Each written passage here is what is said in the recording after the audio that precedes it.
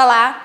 A humanidade enfrenta diversos desafios ligados às mudanças climáticas.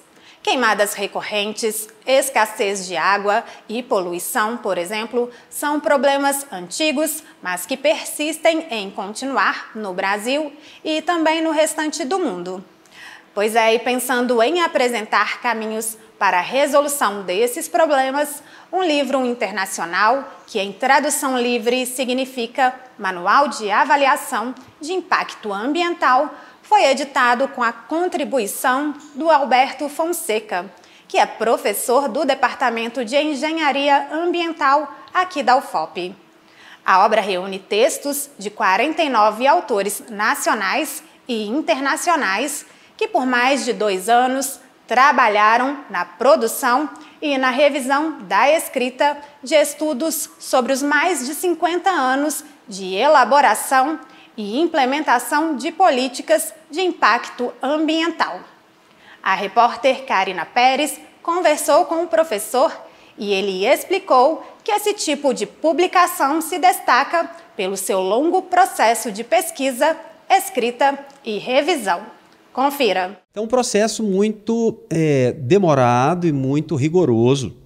E isso torna esse tipo de livro um livro que você não faz a todo instante. É uma espécie de compilação do estado da arte. Na nossa área, a gente costuma ver um livro desse publicado de 5 em 5, 10 em 10 anos. E, portanto, é uma grande responsabilidade e um orgulho para um professor da UFOP poder estar nesse papel de fazer uma publicação que reúne o estado da arte de um assunto que afeta o planeta inteiro e que vai estar literalmente nas universidades, das universidades internacionais aí, de vários lugares, né, ajudando a disseminar esse conhecimento. Alberto também explicou a importância da avaliação dos impactos ambientais e disse como esse estudo pode interferir no nosso cotidiano. Veja.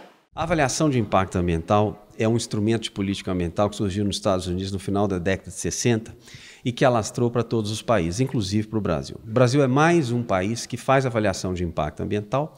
Aqui a gente faz quase sempre no contexto do licenciamento ambiental.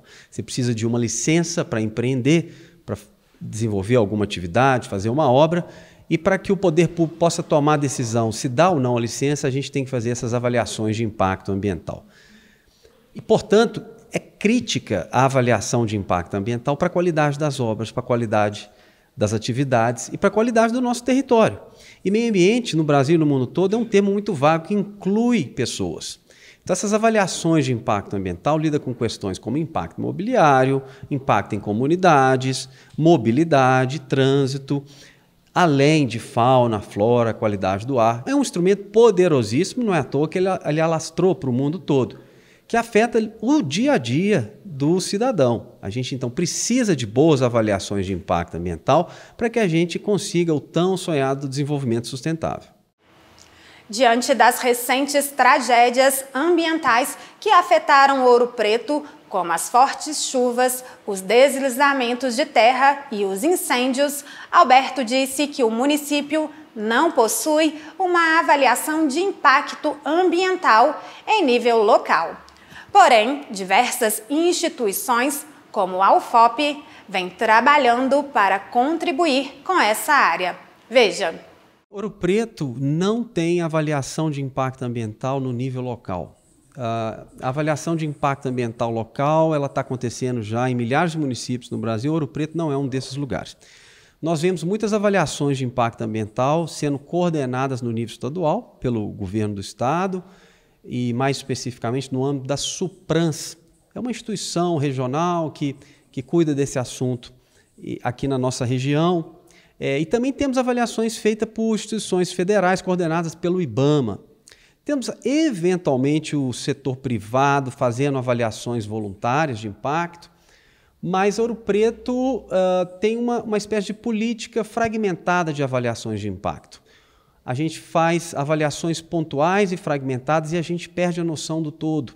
Nós, na UFOP, estamos preocupados com isso daí a criação de um outro projeto nosso, o Promosat, Programa de Monitoramento Socioambiental do Território Europretano, porque nós queremos integrar esse conhecimento e ser capaz de entender como que as várias avaliações de impacto que estão acontecendo nesses 1.245 quilômetros quadrados de Ouro Preto, como que elas podem conversar e gerar uma visão mais holística do território. E, e fazendo isso, a gente vai ver o óbvio: nós estamos destruindo o território ouro-pretano. É menos água, menos é, fauna, menos flora, ano após ano. Segundo Alberto, o livro aponta caminhos práticos que podem contribuir para prevenir novas tragédias no município. Confira. A gente poderia usar o conhecimento do livro para prevenir impactos no desastre do Doce, dentro da nossa universidade, no Centro Histórico de Ouro Preto. A avaliação de impacto, como eu disse antes, ela permeia a vida do cidadão.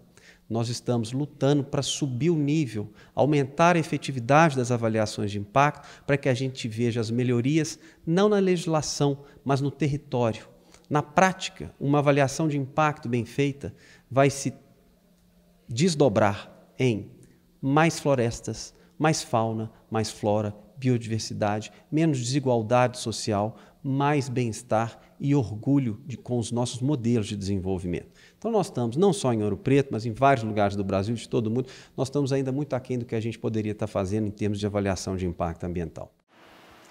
Por enquanto, o livro está disponível somente em língua inglesa e pode ser adquirido nas principais plataformas digitais de e-books e também no site da editora da obra. Continue acompanhando a cobertura da TV UFOP em nosso canal na TV ou pela internet. É sempre bom ter a sua companhia.